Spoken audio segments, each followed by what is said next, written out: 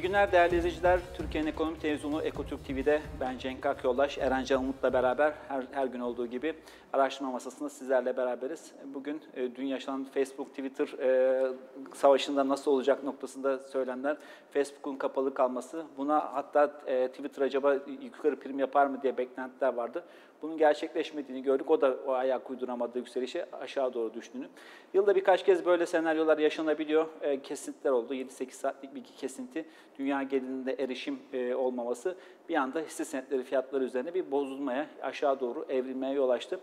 Bu e, görünen buzdağının görünen evet. yüzüydü. Esas bunun arkasında daha sonra ileriki günlerde daha derin krizler oluşabilecek bu basit bir şeydi. Sonuçta siz eğer kripto dünyasına doğru giden bir e, dünyada e, şirketlerin bu birbirine ulaşamaması değil de e, kripto dünyasındaki alım satım yapılan platformlara ulaşılamadığı bir ortam olursa nasıl bir dünya olur? Bir de onu tasvir etmek lazım. Evet Erencan ne dersin bu gelişmede son yaşananlara dün itibariyle? Yani dediğin gibi yılda bir iki defa olabilen bir şey ama e, süresi bayağı uzun oldu bu sefer. Yani ben bir ara bir WhatsApp'a falan girmeye çalıştım, Instagram'a falan. Dedim herhalde benim internette bir sorun var ama Twitter'dan öğrendim yani çöktüğünü. E, zaten e, Twitter geyikleri de bayağı güzeldi. Özellikle Mark Zuckerberg'in e, kişisel servetinin 2.4 milyar dolar nasıl da hesaplamışlarsa bir anda e, yani 3 milyar dolara yakın bir azalma olduğunu dile getirdiler. Facebook hisseleri en son baktığımda %5'e yakın hatta %5'e aşkın düşüş hareketlerine maruz kalmıştı. Ama gün içerisinde yeniden toparlar. Sonuçta kendine gelmiş bir şey. Dediğim gibi öyle çok da fazla abartılacak bir şey aslında değil. Süresi uzun olduğu için biraz sıkıntı olmuş olabilir hisseler ve finans piyasaları için ama yılda bir iki defa olabilir. Sonuçta teknolojik ürünler bunlar. Tabii. Yani hani öyle bir çöküntü falan beklememek lazım internetin komple gittiğini düşünsen dünyamız ne hale gelir? O zaman çöküntü beklemek lazım işte. Tabii. E bu arada Facebook'la Twitter'ın ikisinin fiyat grafiklerinin olduğu, performanslarının olduğu aylık grafikler var. Bir onların yansıtalım, bir onların üzerinden konuşalım. Ondan sonra e, denizcilik sektörü ve navlun fiyatları son dönemin en yüksek e, çılgın boyutta varan artışlarla karşı karşıya kaldığını, Türkiye'de gemicilik sektörünün son dönemlerde bir gelişme kaydettiğini görüyoruz. E, Reuters ekranını yansıtabilirsek burada görüldüğü üzere Facebook'la Twitter'ın fiyat karşılaştırmaları var. İkisi de aynı e, grafik üzerinde gözüküyor.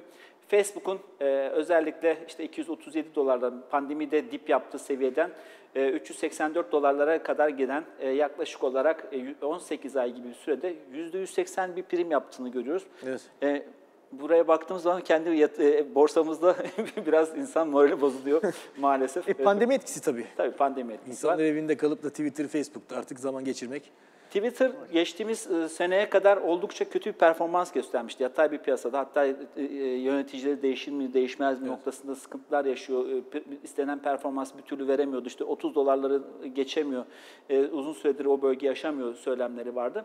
Pandemi sonrasında orası da yaklaşık olarak baktığımızda 77 dolara kadar bir hareketi sürdürebildiğini gördük. Bu süre zarfında %213.76'lık bir yükseliş gerçekleştirmiş. Ama o da orası da tekrardan 60 dolar sınırının altına geldiğini, 58 dolara kadar e, geri çekildiğini söyleyebiliriz. E, son Facebook'taki yaşanan son 2 e, aylık düşüş zirveden bu zamana baktığımız zaman %16'yı bulmuş vaziyette. Özellikle son 2 aydır teknoloji tarafında bir sıkıntı oldu. Bu ekonomilerdeki açılmalarıyla Çok birlikte burası teknoloji firmalarından biraz kaçış olduğunu söyleyebiliriz. Kesinlikle yani çok normal. Birinci öncelik senin dediğin gibi ekonomilerin açılmasıyla beraber ekonominin büyüme temposuna ayak uyduran firmaların hisse senetleri evet. daha çok e, performans gösterebilir.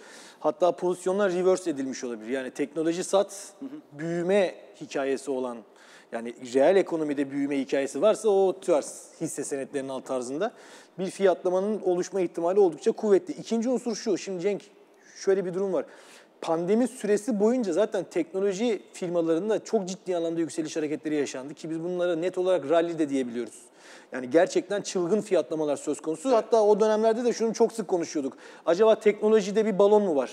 Hani o geçmişteki teknoloji, o dot-com 2000'deki. 2000'deki o dot-com krizine ilişkin de ciddi anlamda atıflarda bulunuluyordu. Çünkü FK oranları, piyasa değeri, defter değeri oranlarının çok yüksek seviyelere çıktığını görüyoruz.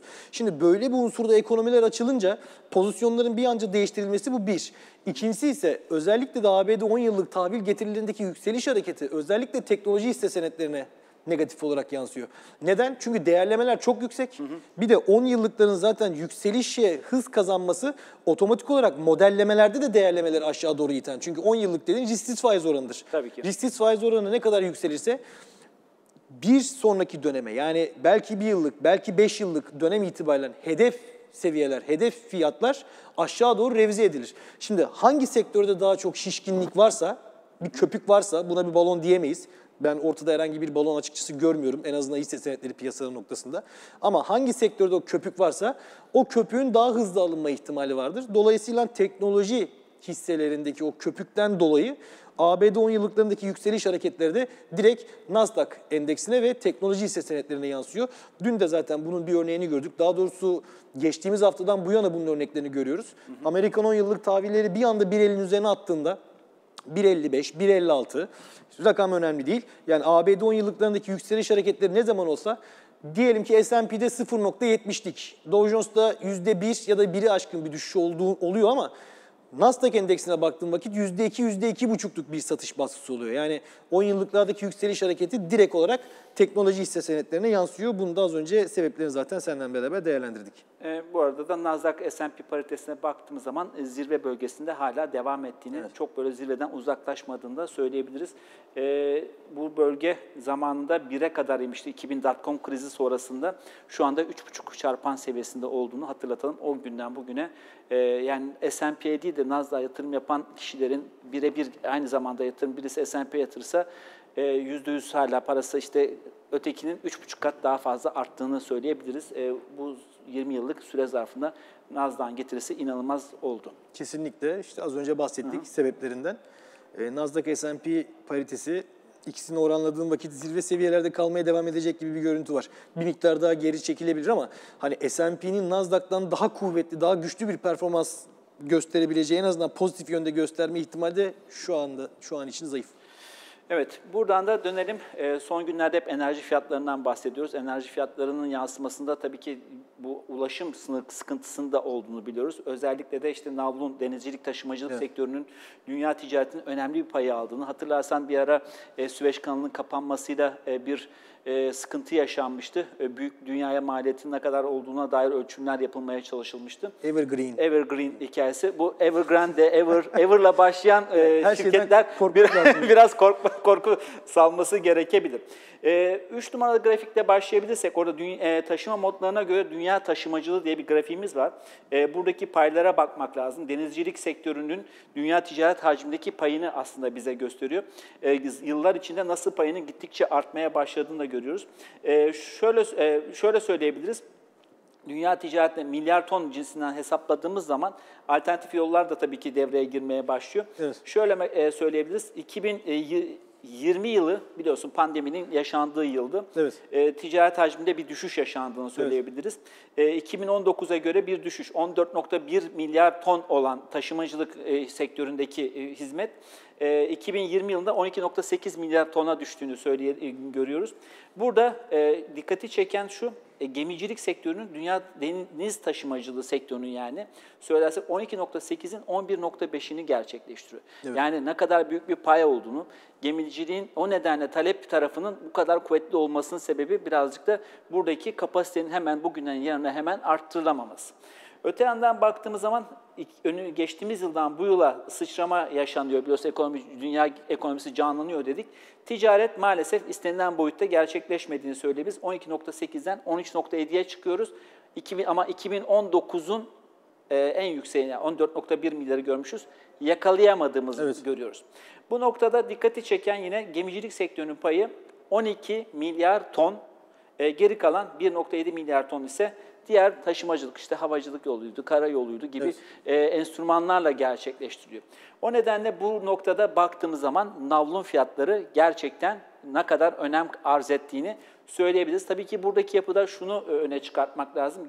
Gemicilik sektöründeki bu yapının e, değişmesinin arkasında yatan faktör olarak e, ticaret filolarının yapısı, yaşlarının boyutları, işte kaç yıllık gemiler, işte çalışan personel kalitesi gibi faktörler, işte bir gemi kazası bir anda dünya ticaretinin sekteye uğramasına bile yol açabilir. Evet.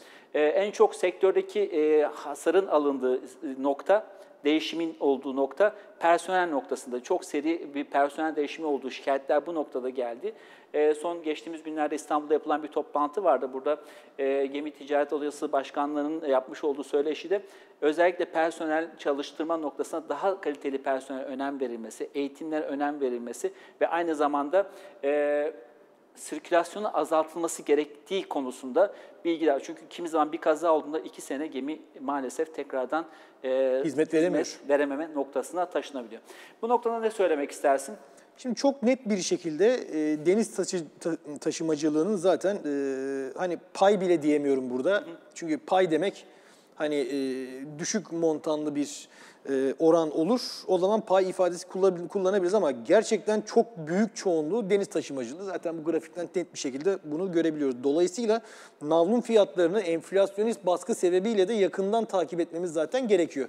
Bugün zaten navlun fiyatlarına baktığımız vakit gerçekten çılgınlık boyutunda bir yükseliş hareketi var ki hani bugün e, mesela yıla e, 350 puandan başlayan bir e, Baltic Dry Index'ten bahsediyoruz. Evet. E, bugün geldiğimiz nokta epey yüksek.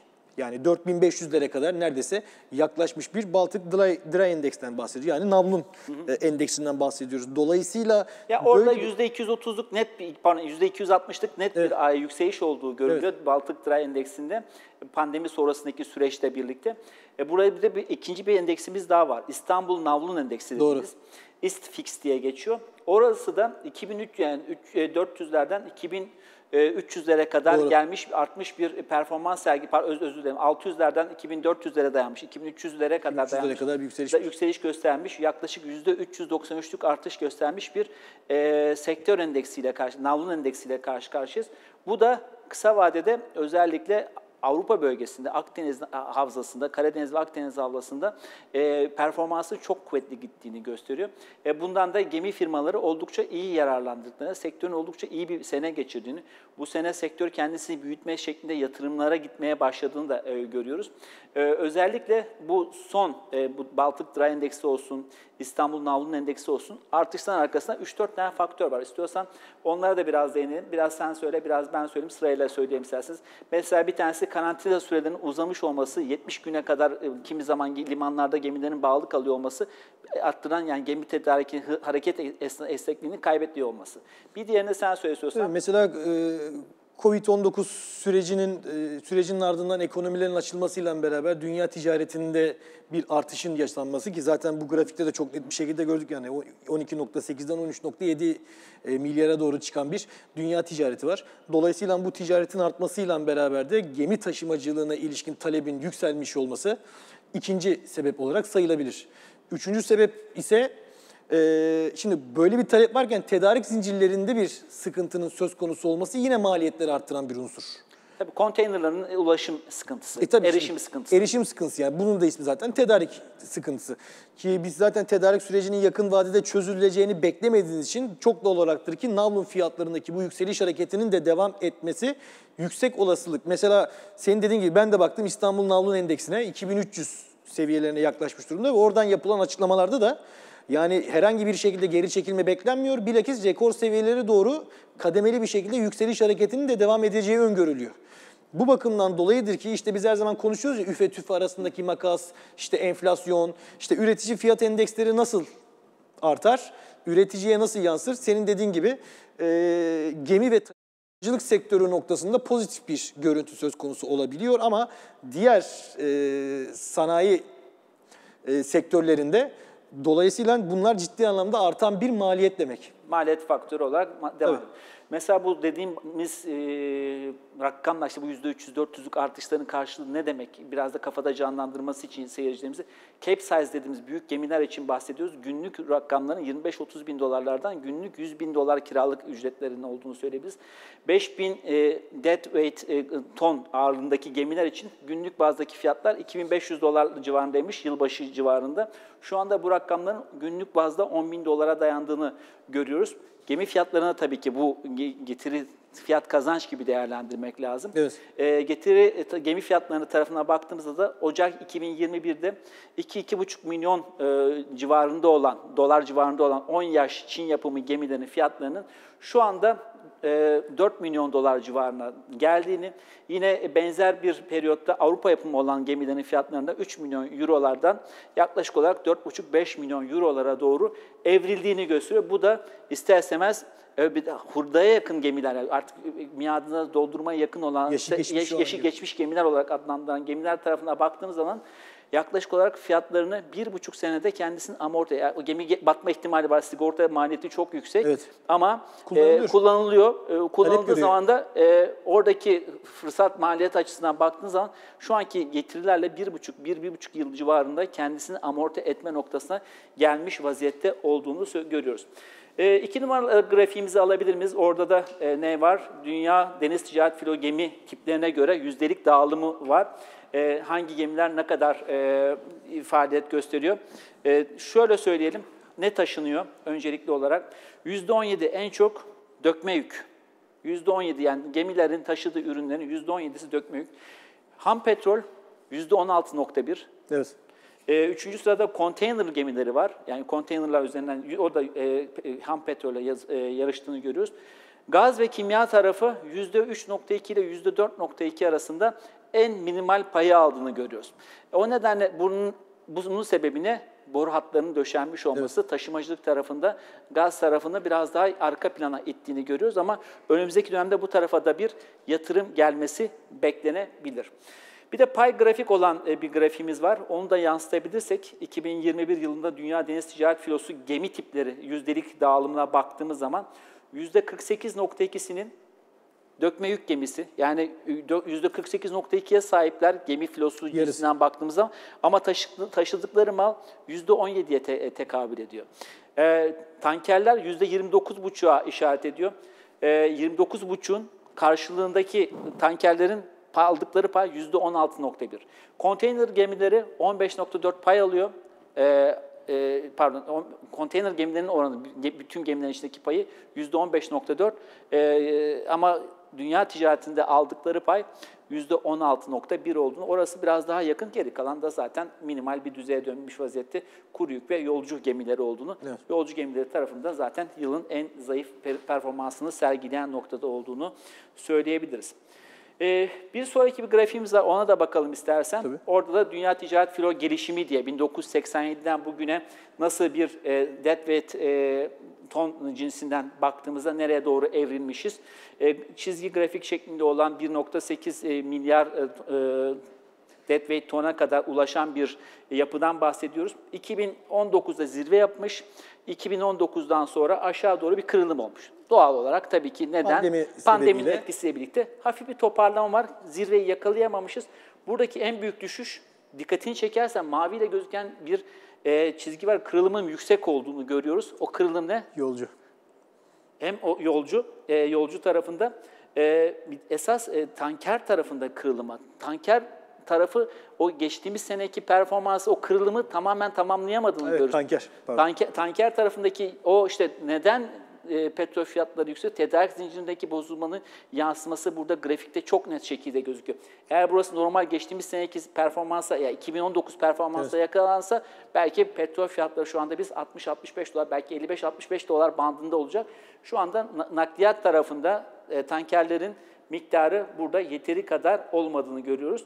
E, o kırılım öteki taraftakiler dökme yükte yükseliş devam ediyor. Tanker buna mesela ayak uyduramamış. Evet, onda oralarda çok ciddi bir sıkıntı yok ama tanker noktasında dediğin gibi tedarik zincirlerindeki o bozulmayı burada çok net bir şekilde görüyoruz ve hala 2019 seviyesine de yaklaşabilmiş değiliz. Toparlanmanın bile hala hafif olduğunu görüyoruz.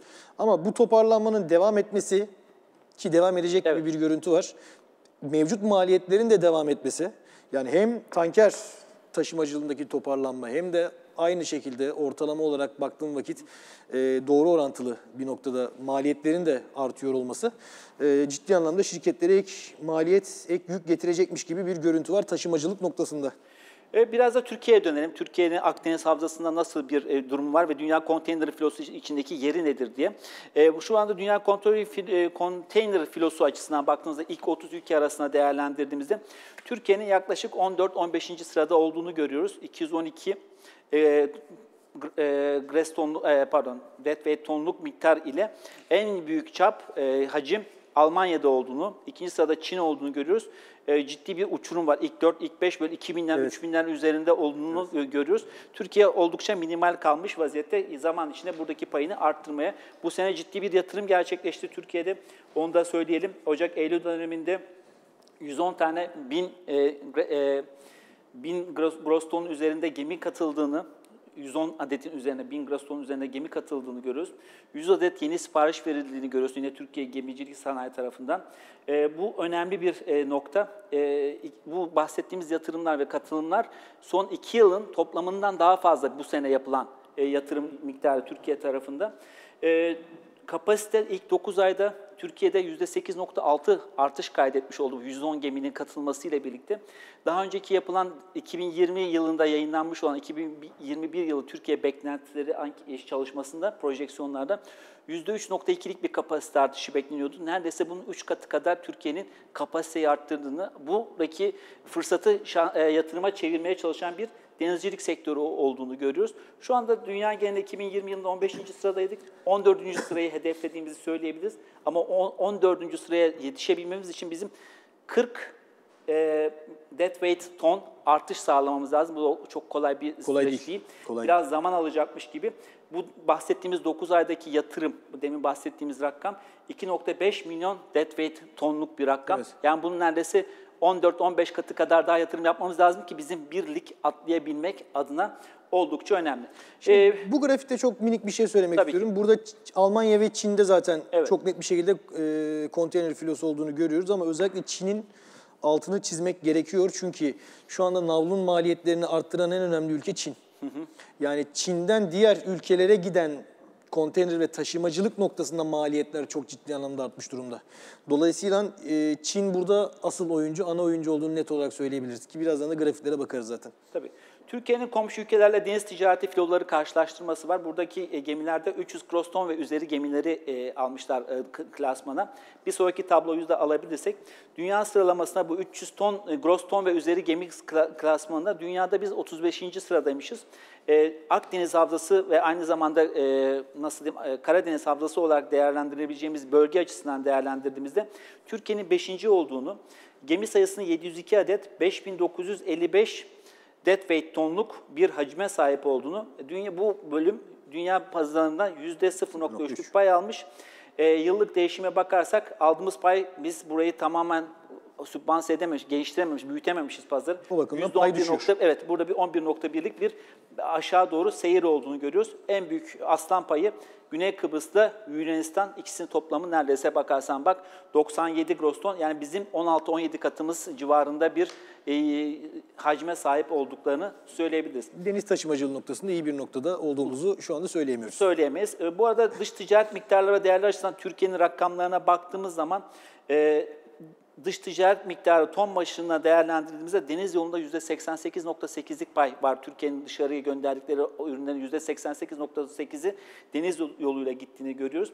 Dış ticaret değerleri açısından baktığımız zaman da %58.2'si yine deniz tarafından gerçekleştiğini belirtebiliriz.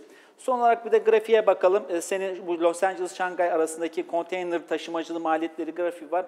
Ona da bir söz edersen e, programın da sonuna gelmişiz. Şimdi burası e, aslına bakarsan önemli çünkü e, Amerika ve Çin arasındaki ticaretten bahsediyoruz.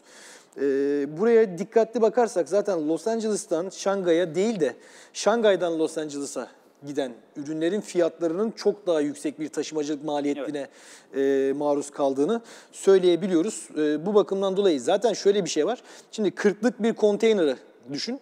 Şangay'dan Los Angeles'a gidişinin maliyeti şu an 11.560 dolara çıkmış. Yani çok yüksek bir rakam. Şunu pandemi öncesi dönemden mesela kıyasladığım vakit tek bir cümle söyleyeceğim. Zaten bu rakamın ne kadar büyük olduğu oradan anlaşılacak. Pandemi dönemiyle, pandemi öncesi dönemden bugün bu 11.569 dolar tam 8 kata tekabül ediyor. Yani pandemi öncesiyle bugün arasında tam 1200-1300 8 dolarlardan. kartlık, aynen öyle 8 kartlık bir yükseliş hareketi var ki burada bir de şu da çok e, enteresan. Mesela Los Angeles ve Long Beach sahillerinde bekleyen gemi sayısı da 49'a çıkmış ve bu bir de rekor. Dolayısıyla hem maliyetlerin artmasının bir diğer sebebi de bu. Anladım. Efendim e, bugünlük de yayının sonuna geldik. Ağzına sağlık Erencan. E, Yarın tekrar görüşmek üzere. Efendim e, bugünlük de yayınımızın sonuna geldik. Herkese bol kazançlı günler. Hoşçakalın.